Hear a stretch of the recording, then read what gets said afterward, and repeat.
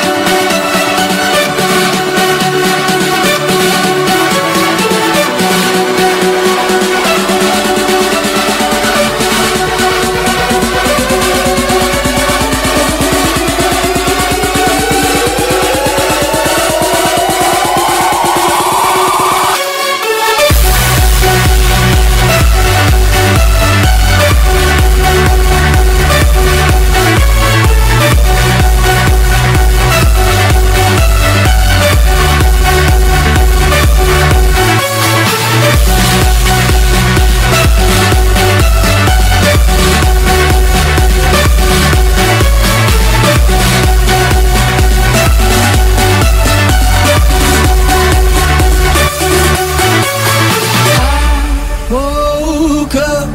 with the sun. Thought of all of the people, places, and things I've learned.